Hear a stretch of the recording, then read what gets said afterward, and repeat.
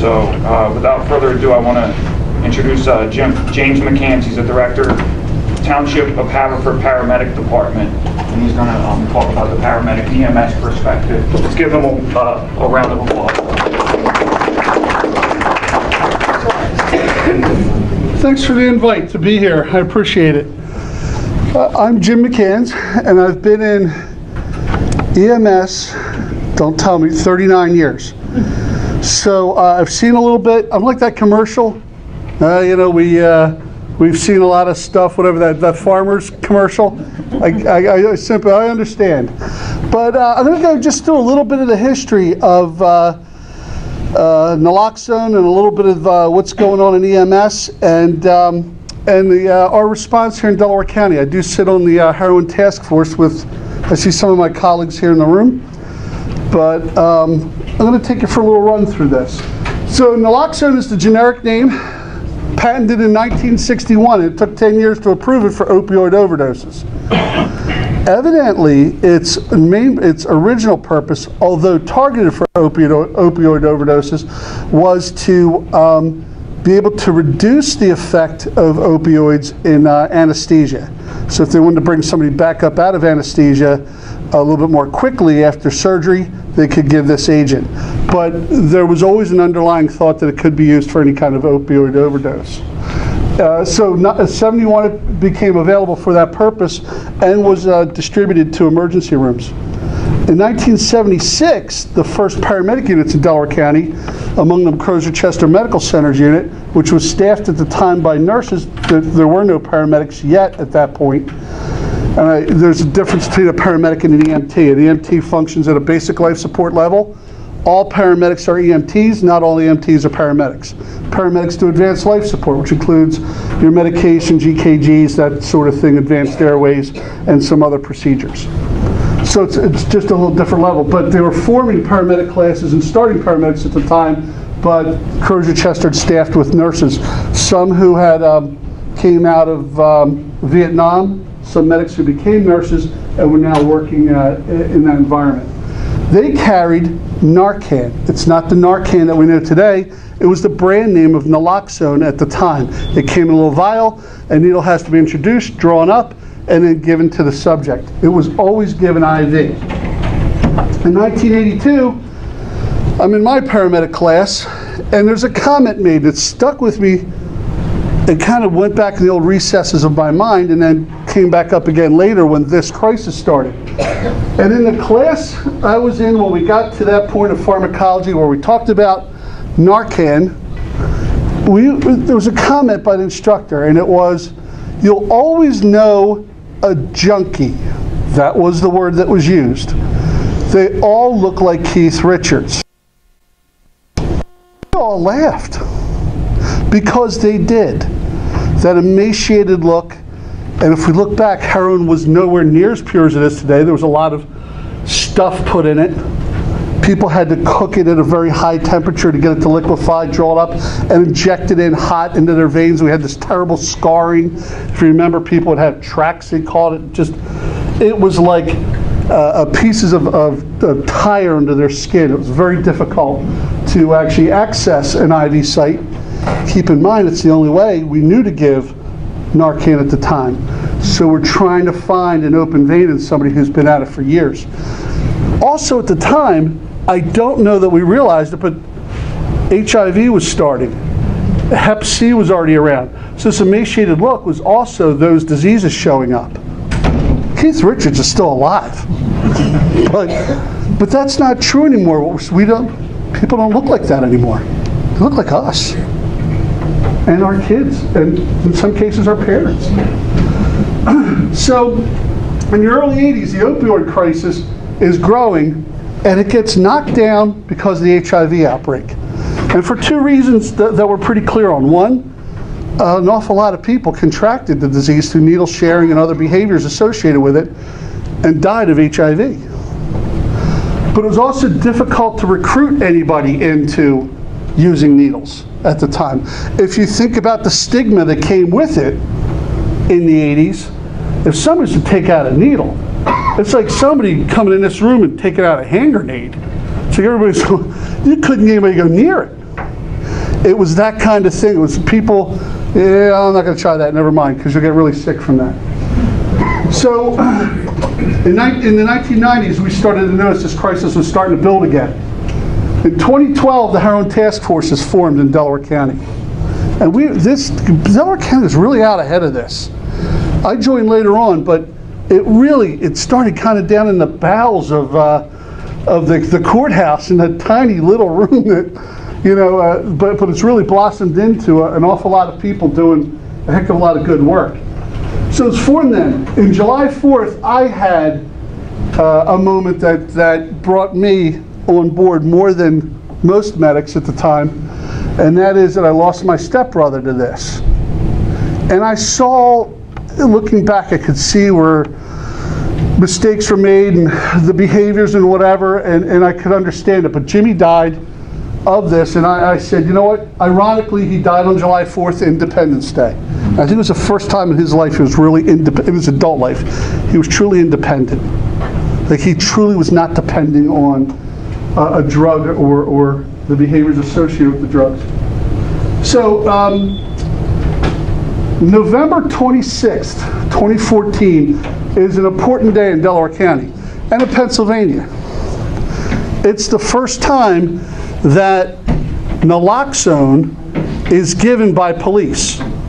At this time, the uh, patent for Narcan is long gone. I've, in my, most of my career as a medic, I've known it as naloxone. It's under its generic name. It's like acetaminophen versus Tylenol. Everybody buys the cheaper one in EMS, so you get, uh, you, you get naloxone. And when uh, we first come up with the, the state approves the, uh, the administration by police to give it, it also includes firefighters. It didn't include EMTs, which, can I tell you what a problem that became in just within the emergency services world? And it's only because EMTs were answering to the Department of Health and were under specific rules. And those rules took a little longer to change than it did for just having lay people give the medication, which is kind of how it was looked at at the time. Lay people with training under the auspices of their job. So that's kind of how that came together 2014. And in uh, 2017, Health and Human Services declares this a public health emergency. I mean, three years after we're already given stuff in the field, but declares it a public health emergency after 42,000 people pass away from this disease the year before. How is naloxone given? IV is the optimum route, if we can give it intravenously. Now, I'm still talking about naloxone. This is the version that paramedics give. It's two milligrams in uh, five cc's of fluid. I'm sorry, in two cc's of fluid. So, the next best way, theoretically, is IO. That's intraosseous. That's we drill a little needle into the bone, into the leg bone or into a shoulder, and inject it there. It's very quick, direct in the bone marrow, and that communicates right into the vascular system. I know, it gives me the willies too. I, I get it. But it works very well, and if you think about it, this person's essentially anesthetized when they get it, and then when they wake up, it can be removed. But there are there, there's problems with this. IV, we have to have an IV site. You have to be able to find an, uh, a, a suitable vein. If the person injects their heroin, that can be difficult. Um, not as bad as it used to be, but it's still out there. You still have to find a site. Uh, IO, it's very quick, but now once we remove that needle, we do essentially have theoretically an open fracture of the leg because there's an open hole through the bone, and that's known for, I mean, that can actually cause infection or be a site for pretty serious infection. So we need follow up at a hospital. These people are allowed to refuse once they're woken up. So we're putting them in a difficult situation, putting ourselves in a difficult situation. But in the moment, you do what's best to reverse that person. Intranasular is the correct way to do it for lay people. We stick it, or police officers or rescuers, into the nose and blown up into the uh, sinuses. any point where there's mucosal membrane and there's contact, they can absorb and uh, we'll get a rapid onset of the drug's use. There's a downside to this too. If somebody has snorted their product, if they've snorted their heroin, or if they're a pill crusher and they snort the pills, the debris can line the inside of the nose and stick to that mucosa, which blocks the absorption of, or delays the absorption of the uh, naloxone when, once it's given up into that area. Intramuscular, it does work well. It takes a little longer than the other methods, but it also forces us to have a sharps, which now we've injected and now we have a needle that's been put into somebody who does have behaviors that would lend themselves to having uh, uh, additional infections. Oral has to be mentioned. It is a way to do it, but that's more into the chronic world. It's not in the immediate phase. Oral the, takes the longest amount of time to absorb. I do have to mention too endotracheal. Paramedics have sometimes started working on somebody, put an advanced airway in. They put the same tube you'd get if you were under general surgery. And then somewhere along the line, maybe somebody finds evidence, a story shows up, that uh, um, it's possibly opioid related at that point, they would, they can spray it down the ET tube. Now, if they wake up, they have a tube in their throat and they just woke up, there's going to be a battle on your hands. It'll be a problem. That behavior again has changed. Medics don't go to that until they're sure that it's not an opioid overdose. They'll just go ahead and give the Narcan and say, let's get the Narcan to figure out later if this is actual opioid overdose. And that shows up in our numbers as we go along here. So this is what it looks like. And uh, I'm not giving a hard time to any of my police brothers or sisters, but yeah, I was part of the training for this. And it was assembling this device, which is glass and, and brittle plastic. You can't police proof anything. It was, uh, am I, you know, am I right? Come on, help me, help me here. But it was literally, I think for every two doses that was successfully given, one was kind of destroyed just by people putting it together. If you don't do it every day, just if you go a little bit further, plastic breaks and the glass cracks, it, it is truly meant to be in an operating room kind of situation. It's not meant as a field device. But I'll tell you, it was very successfully employed in Delaware County. So it did work out very well. Once people kind of got it a few times, it was gold. So November 29th was the first day police could legally administer naloxone. I want you to note that because that's not the first day that we gave it. We gave it a couple days before. Everybody was trained, it was available, the police officer Ridley Park went on location and and said, you know what, I know what this is, I can save this person, I'm giving it. Calls DA Whelan the next day and says, I have to term, I, I got to disclose, I, I gave this. He's like, congratulations, you saved a life. Who cares? That's what we're here for. Nobody's looking at a calendar. Let's just, let's, let's start saving lives. And within uh, a month, EMTs followed, thank God. That was just such, such a, uh, a dust up. Look at the directions uh, on the left versus the new directions on the right. This is the switch um, to Narcan and police. Paramedics still carry naloxone. We have to have a choice. We need those other methods. We can give it IV. We may have to alter how much we're given. Rather than just a four milligram pop up the nose, we may have situations that aren't necessarily an opioid overdose where we have to control how much we're getting. For instance, if we have the elderly person whose loved one put a uh, uh, and the person has cancer and, and they're really ill with it and that, that person leaves the room and another loved one comes in here's the person moaning and puts another patch on oh you know they didn't get their patch yet well that is an opioid overdose but if we give the full four milligram pop we're going to erase all of the ability all the effects of their uh, pain relief but if we give just enough to kind of bring them back up so their respiratory function is is is uh, they can handle the airway and their air, uh, their airway function is um, or respiratory function is sufficient, then that is what we're shooting for. So there's times that we will alter that a little bit. And, and there's some other situations, we don't have to go into all of them, but you see that sometimes we really have to titrate it as to what we need to do. But this was the program that we were teaching police officers, firefighters, and other rescuers how to put together our system and then add the atomizer on the end and squirt up the nose. And they make it look pretty good with six steps. They reduced it to four. But hold on. I digress. Let's go back here. They don't put their number one as taking the thing out of the package. I mean, it looked like to me they were really trying to add steps to this one. And this is where you identify what a nose is. Actually, if you ask me, all they needed was two and three. Here it is, stick it in the nose and push. And that's what you have to do. And immediately, we went from that 20-some percent problem rate to zero complications. It's also more concentrated than what we had. It's four milligrams and about 0.25 cc's. So this was actually, this was a real boom for us. Stick it in, pop up it goes, and we were getting some pretty decent reverse. We're getting a lot of decent reversals. We'll talk about the numbers right now. So our years are a little off. They begin on the 26th of, of uh, November every year. So year one, you can see about 163 reversals.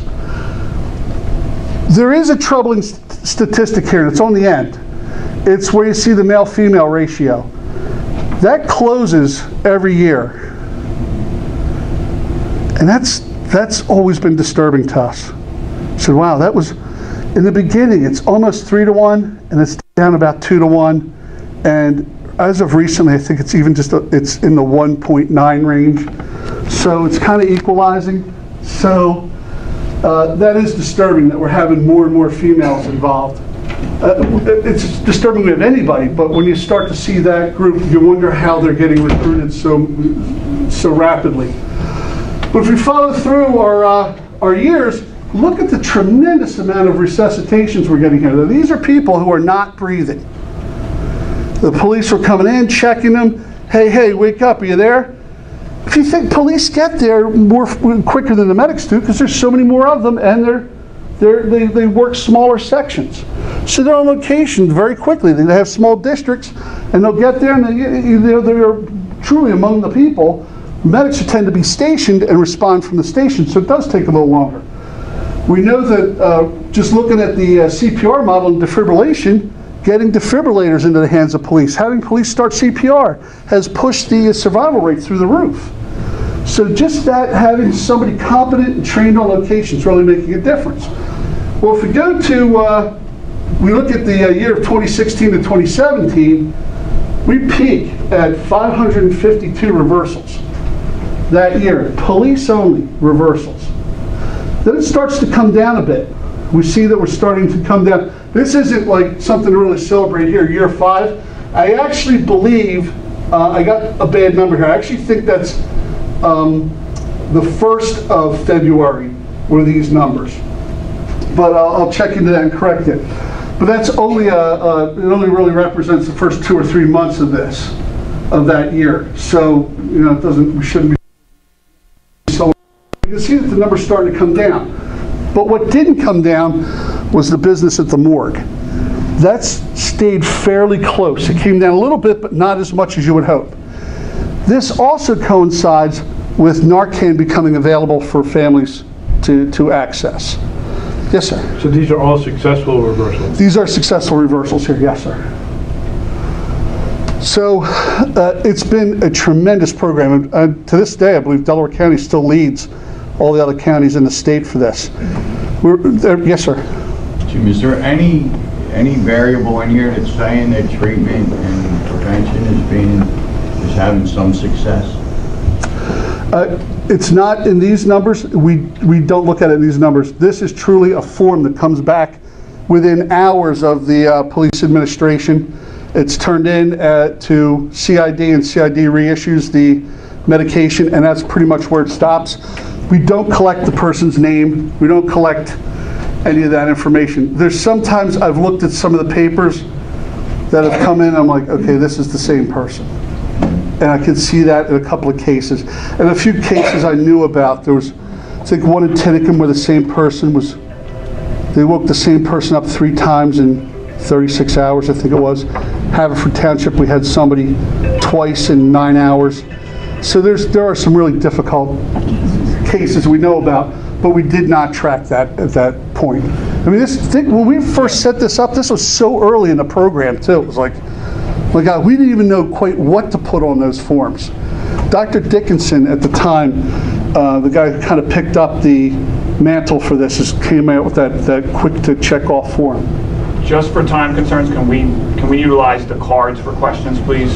Okay. I apologize. So this is the program uh, for all of 2018. It's the first time Delaware County was able to, uh, um, it- it- EMS uh, was uh, party to getting a bridging program so that all the versions of the charting and medical charting programs that EMS use could all be blended together and all the information could be extracted and then it was forwarded to the state for all kinds of EMS stuff, from cardiac arrest to childbirth to pediatric cases, everything would go up the big data upload.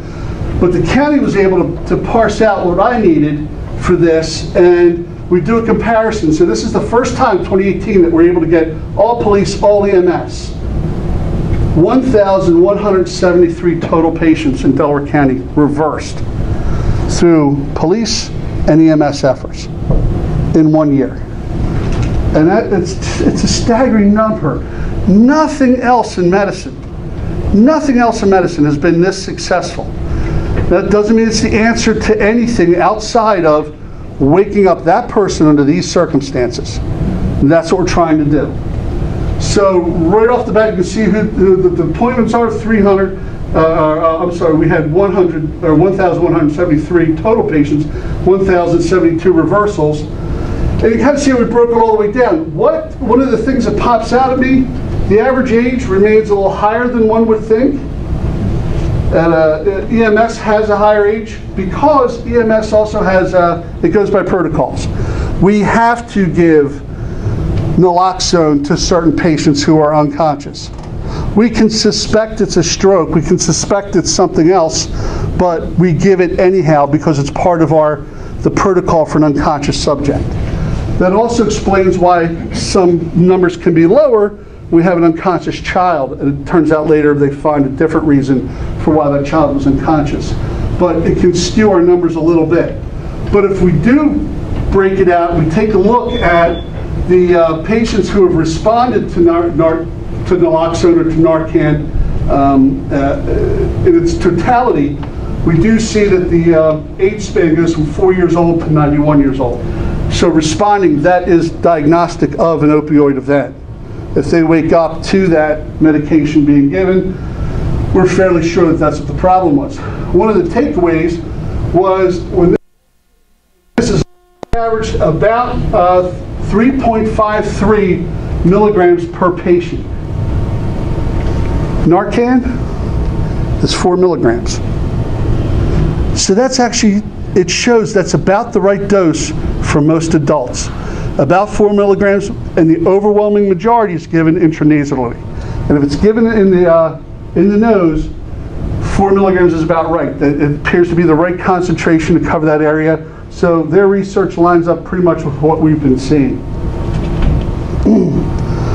Now what? Okay, we're given Narcan or naloxone, we're waking people up. What's the next step? Well, I'll tell you that this isn't something new. I didn't come up with this, I've gleaned this from other people. There's a push to amend Act um, 2014, Act 139 from 2014. Um, So there'll be a mandatory interaction with somebody before they can be released by police or by EMS. They have to talk to a uh, a certified uh, um, Recovery specialist. recovery specialist, I said counselor, I put CRC counselor, but we've gone through a couple names over the years, but i- i- we want them to talk and interact with somebody.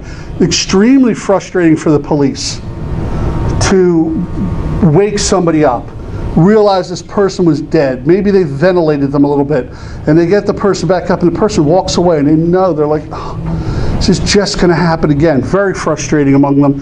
And it was truly born of, we're not forcing, but my God, I know you need to talk to somebody.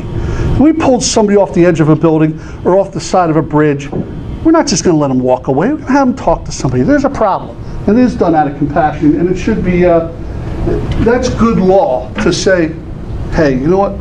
Let's have them talk to somebody. Let's get, the, let's see if we can help.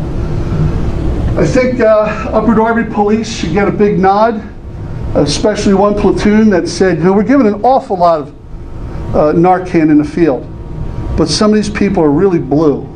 They need oxygen. One uh, um, officer is also a uh, nurse and a medic, decided to teach everybody on his platoon how to ventilate somebody with a bag valve mask.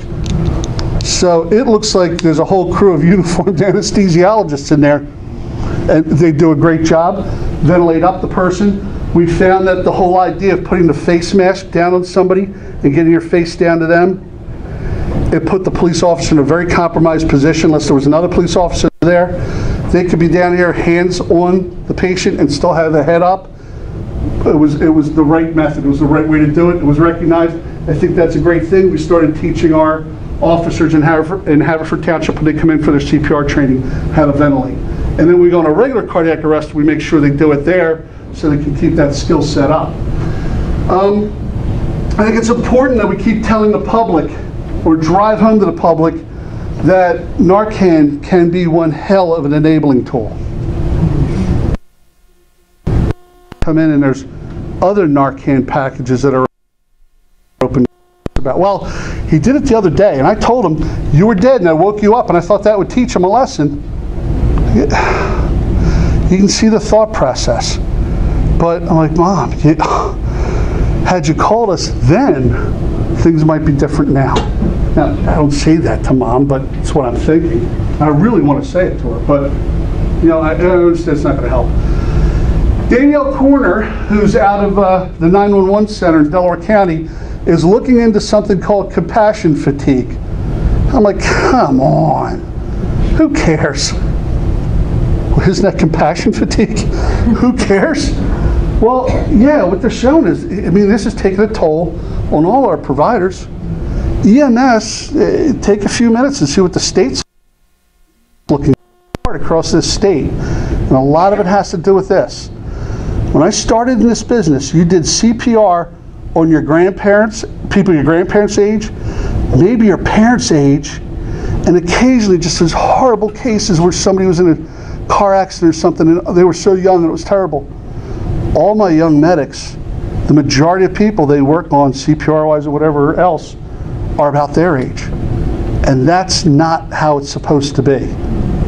And that takes a huge toll. They note it's one of the things in warfare. In battle, we look at the military, one of the stresses on the medics there is the fact that they're caring for people their age. This guy looks like, this guy could be a friend, but he looks like my friend. He's my brother's age, he's my age. He looks like me. So, it, and it does affect people, and it's, I think it's a blocking mechanism.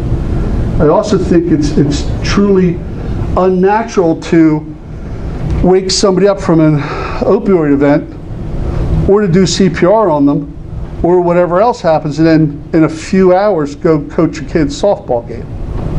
And you're kind of switching gears in a way you shouldn't be switching gears.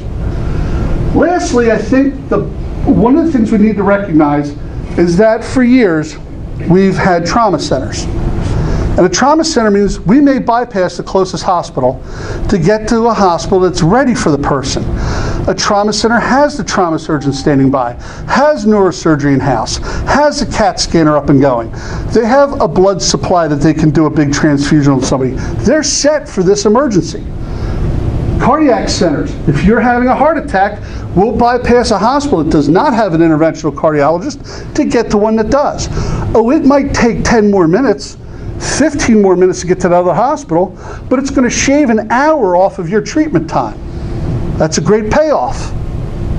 You know, I can give the aspirin, I can give the O2, I can do whatever on the guy who's having a heart attack. I diagnosed a 12 lead. There's nothing at the smaller hospital that doesn't have those interventions. I can skip around. Strokes, the same thing. Pediatrics, the same thing. You go right down the line, even crisis centers. Yet when it comes to somebody we wake up with naloxone, go to the closest hospital and drop them off. Uh, should we not be thinking of the model where we take them to a place that has those resources, not unlike the trauma center, that says we can treat you for the acute issue, we can treat you for the withdrawal, and we can give you treatment for the long run. And I think we truly need to recognize that. I mean, it's, and the thing is, it's so obvious among medics. I'm like, how come we're not telling people? And I feel like I'm talking to zombies, because I think I am talking to zombies. It's really a problem. But hey, I'm putting these things out there. When I say now what, they're just some of the things I've witnessed, some things people have told me, and I'm putting it out there for any answers anybody has. It's really an issue, but I appreciate you listening to this. I am, uh, my portion is complete, sir. Next.